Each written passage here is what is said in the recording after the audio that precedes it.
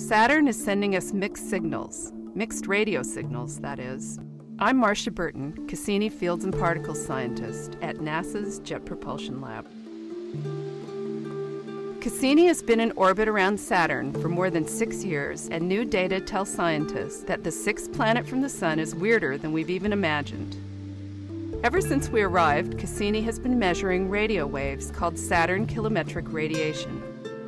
Cassini's radio and plasma wave instrument recently determined that the variation in radio waves is different in the northern and southern hemispheres of Saturn and the northern and southern rotational variations also appear to change with the Saturnian seasons.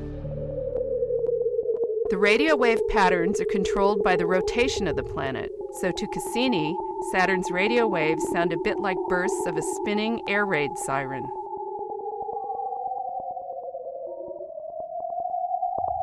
We can't normally hear these radio wave patterns, but Cassini scientists have translated the patterns into the human audio range. In this video, you actually hear the radio wave patterns coming from the two hemispheres swap rates over the course of several years. The crossover happened a few months after spring began in the northern hemisphere.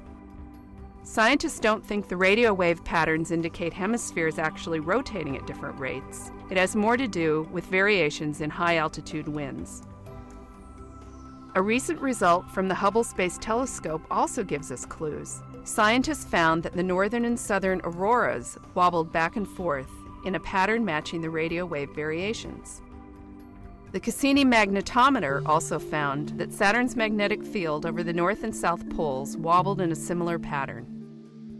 These signals are connected because they're all affected by the behavior of the magnetic bubble around Saturn and the Sun's influence on the whole Saturnian system.